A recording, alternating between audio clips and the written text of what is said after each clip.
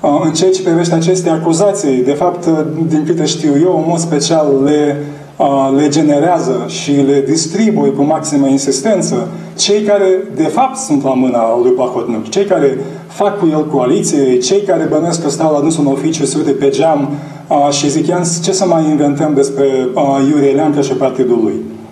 Știți, îmi pare o să fac o paralelă, dar e un banc, nu foarte academic, despre fata Popei, care ar fi de comportament ușor și nu contează că, fata, că popa nu are fete, de fapt. E suficient să lansăm zvon. Uite așa și aici se operează. S-a lansat zvonul și după aia cumva mi se cere mie sau colegilor mei să-l, să infirmăm.